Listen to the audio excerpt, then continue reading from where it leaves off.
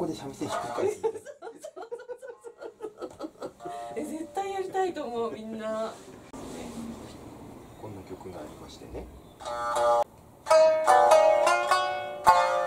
いたこ出島のマコモの中であやめ咲く実しやというのがありまして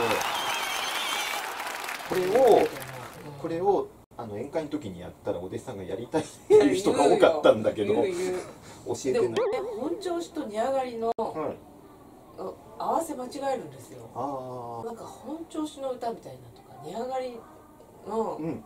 その音階しか出てこないような歌をね作ったら覚えてくれるからなるほどお弟子さん教えてて思うのははじき、うん。うん、あの文化部で教えてるとはじきを例えばあのこうするのか、こうするのか結構みんなこう混乱するんですよね。ね。はって書いてあると、あのこう押さえてこう薬指で弾くのか、それとも離すのかこういうたまには「チーレーテーツー」とかでも出てくるし。そうであと例えばあのお江戸日本橋だったら「チンチンチン」この場合中指で弾くじゃないですか、うん。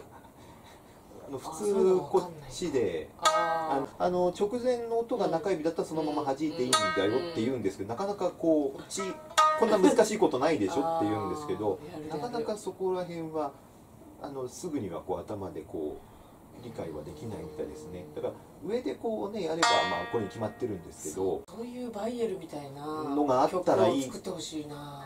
あった方がいいのかなと思うことありますね。あった方がいい。皆さん大体これが混乱しますね弾きは。あだからそれをなんとかもう少し分かりやすく教える方法がないかなって自分も今思うんです。チングイチレンなのかチングイチレンなのかねここら辺が皆さんこう分かんなくなるぜひ作ってほしいそういううん。メソッドが入った曲。そう薬指で弾くのか中指で弾くのか。